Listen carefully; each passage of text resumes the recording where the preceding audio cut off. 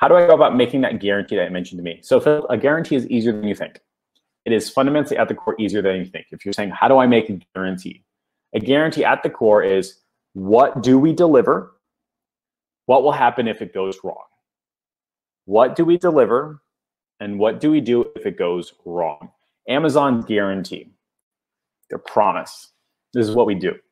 Amazon does one thing. They'll get you your stuff in two days or less. That's it. And I know that's not true, but just go with the anyway, right? Like Amazon says, you will get your stuff in two days or less. Amazon, I didn't get my stuff in two days or less. Hey, we're super sorry about that. Uh, can we can we comp you? Can we make your order free? Can we give you a, a coupon or a gift certificate? They have one, right? GE for the longest time um, said your dishwasher will fit in your home guaranteed. How the fuck did they know that? Like, what are they sending a guy out to check before they sell a dishwasher? That's not true.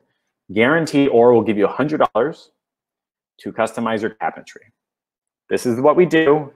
This is what happens if it goes wrong, right?